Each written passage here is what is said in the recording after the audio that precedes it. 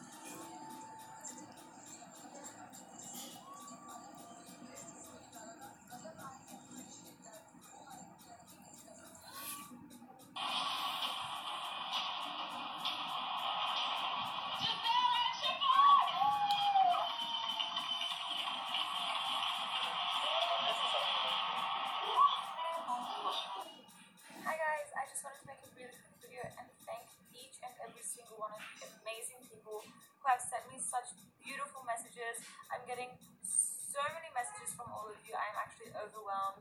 You guys are calling me your inspiration, saying that I'm proving to you guys what it's like to be a strong woman, and I'm just overwhelmed. That's the one word I can use right now. I wanted to thank you guys for everything and for always supporting me. I do also just want to say that obviously life does have ups and downs all the time, not just in a relationship. There's always going to be ups and downs in life. So you just have to be able to push through with a smile on your face, which I said in tonight's episode as well. So uh, you guys are able to take that away from today. That's all that matters to me. It was really difficult. Just watching the episode is bringing up so many emotions for me. Um, that night was absolutely insane, as you guys probably saw in the episode tonight. Um, yeah, that was definitely.